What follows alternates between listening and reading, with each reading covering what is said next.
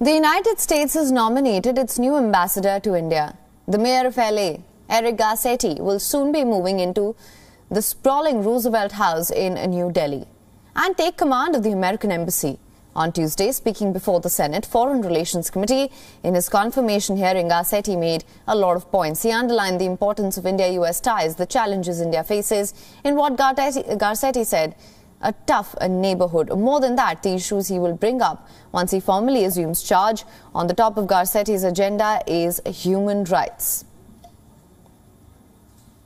I've confirmed I will work closely with India on a similarly bold approach to promoting green energy through the International Solar Alliance and through the Agenda 2030 Climate and Clean Energy Partnership.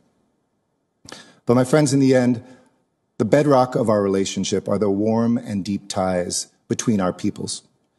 They connect our nations, and it's embodied best perhaps by the 4 million strong Indian American diaspora I know in each of your states. It strengthens our nation. It serves at the highest level, including our vice president, and the nearly 200,000 Indian students and tens of thousands of Indian professionals contribute every single day to the strength of this country. And in addition, respect for human rights and strong democratic institutions are key elements of our relationship and values that are enshrined in both of our constitutions. And if confirmed, I will engage regularly and respectfully with the Indian government on these issues. Historically speaking, US's ties with India have been about dialogue, strengthening partnership. American envoys have rarely sought to meddle in New Delhi's domestic affairs. But it seems like Biden's close confidant, his man of choice, will not be treading the tried and tested waters. Garcetti's statements on human rights have no doubt made headlines across India and the United States.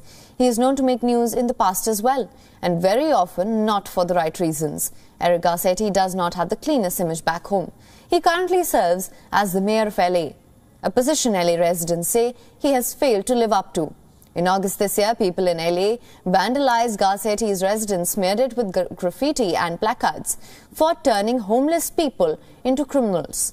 Garcetti had passed an anti-camping ordinance which prohibited those without a home from sleeping on public properties. He ordered them to shift to shelters, only that there aren't enough shelters in the city. Angelenos say this is all Garcetti's fault. They point at the numbers. Eric Garcetti was elected mayor in 2013. The number of homeless people in LA that time, at the time, stood at 23,000. In 2017, Garcetti was re-elected as the mayor.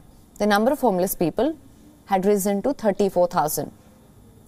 In 2020, when Joe Biden came to power, the number of homeless people stood at 41,000 as of August 2021. When he was picked as US envoy to India, the figure stands at a whopping 66,000. Now, Garcetti also has been uh, swept up in endless headlines for sexual harassment allegations against a former top advisor, raising concerns that he oversaw an office culture that silenced victims.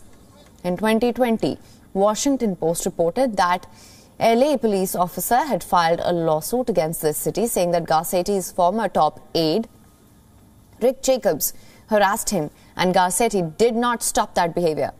Garcetti has denied seeing any inappropriate behavior and publicly stood by his longtime advisor.